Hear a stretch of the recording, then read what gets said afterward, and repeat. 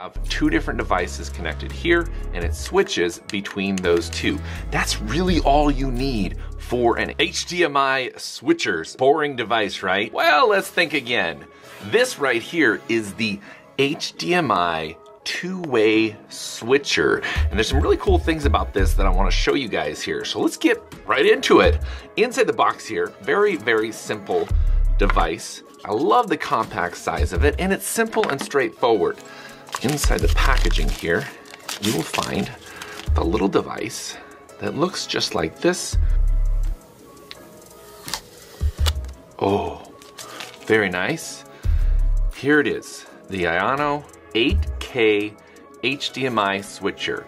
So we have two HDMI ports right here, and we have one more HDMI port right here, and then a power port right here. So what else we find here in the box is the power cable. That does not include the 5 volt power brick, so you will need to have some type of power source for this, but this does come with the cable to give the device power, and that is how you can support up to 8K in the switching capabilities. So it does include the cable, but you will need to provide your own power brick.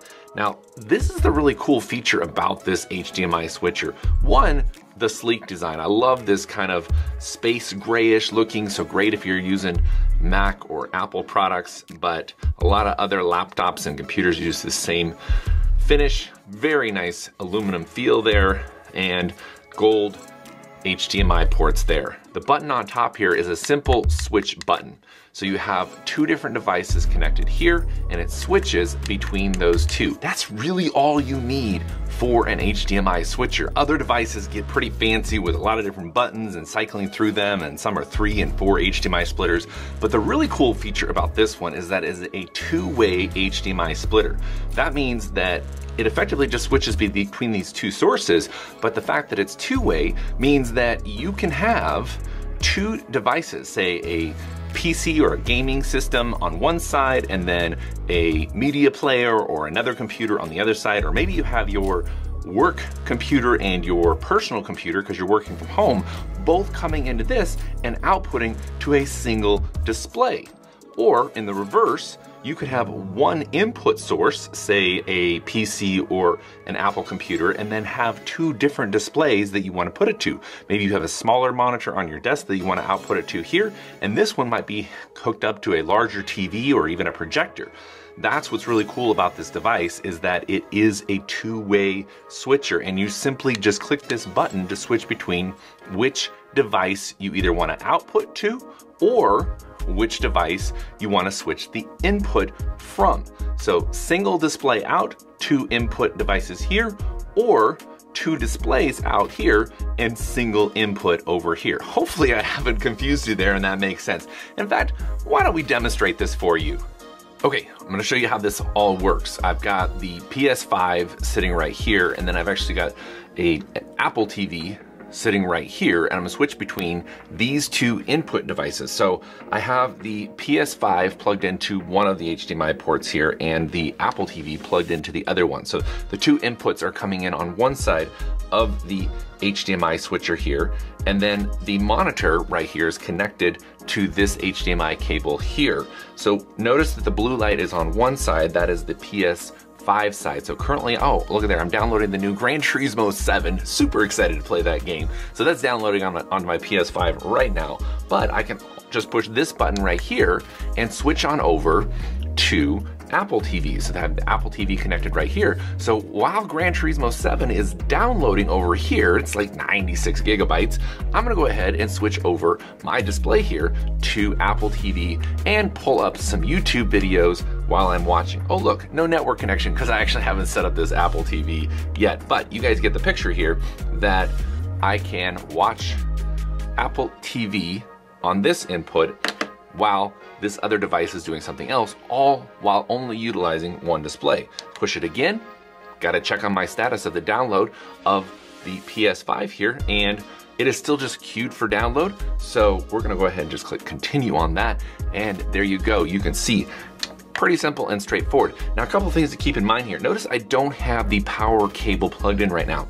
So this device will operate as a switcher without any power at all. So you don't even need to plug this into power because it's effectively just taking one HDMI signal and connecting it to the other HDMI cable and passing that signal through up to 8K 30 frames per second is what this device will support and it is backwards compatible. So if you have lower resolutions, that's gonna be no problem as well. So this is only passing through one HDMI signal at a time. Now, in reverse, and I'm gonna show you here just in a second how that's gonna work, if you're bringing one HDMI signal into the switcher and then using it more like a splitter, and you're actually having that one signal going out to two different output devices, then you are going to, you know, two different displays, then you are going to need to plug this in. They recommend plugging this in just so you don't suffer any HDMI or visual loss when you're using this as a splitter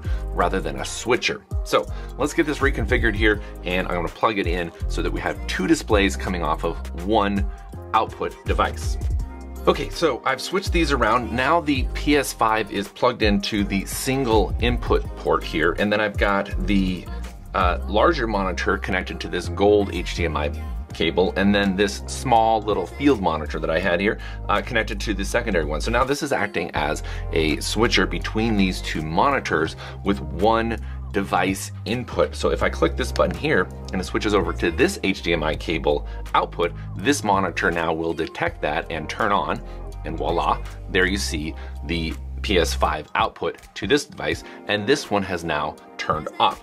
Now notice again, I still have not been plugged, you, I have not plugged this into any kind of power, and that's just because these are just regular HD monitors. We're not running 4K or 8K or anything. So if you get in those higher resolutions, you're going to want to plug the power into this HDMI switcher. One other note here is that in the bottom of the box, I did find this little rubber uh, pad thing. Uh, this, I believe, goes uh, on the bottom of the device right like so, and that will help it from sliding around if you just have this sitting on your desktop. Uh, but it's it's pretty lightweight, and when you've got HDMI cables and stuff plugged into it, it's it's not really gonna sit flat unless your HDMI cables are not as thick and beefy as mine are. So I would actually recommend either just, you know, 3M double-sided tape this to your desk just to keep that down. But it is nice that they include this little rubber thing uh, to keep it from sliding around on your desk. So let me demonstrate that again here. If I push the button and switch inputs, now the signal will appear over here.